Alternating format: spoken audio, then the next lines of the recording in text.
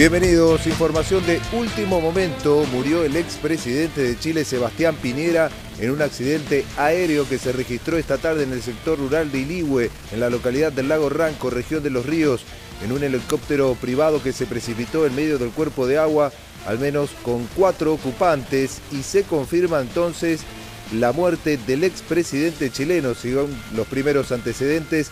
El helicóptero era piloteado por el propio expresidente acompañado por otras tres personas, despegó en medio de una jornada de lluvia que afecta a la zona y tras unos minutos de vuelo perdió sustentación y cayó.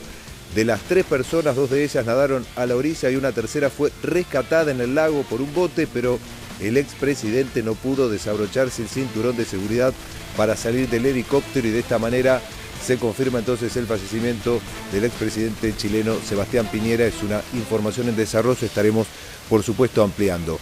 Volvemos a nuestro país, debate de la ley base, volvemos en vivo al Congreso de la Nación con Gabriel Gamarra. Te escuchamos, Gabriel. Seguimos desde Pasos Perdidos, está votando artículo por artículo. Hay que decir que ya se aprobó la emergencia de seguridad en economía y también en tarifas y energía. Artículo por artículo es lo que se está votando en este momento. Recordemos que el viernes se votó a nivel general afirmativamente para el gobierno nacional y ahora se entiende que artículo por artículo y seguramente va a haber este, sesión hasta aproximadamente las 10 o 12 de la noche y después se volverá en el día de mañana. Muy bien, muchísimas gracias Gabriel. Hoy a las 18, antes del fútbol, la edición central, los esperamos.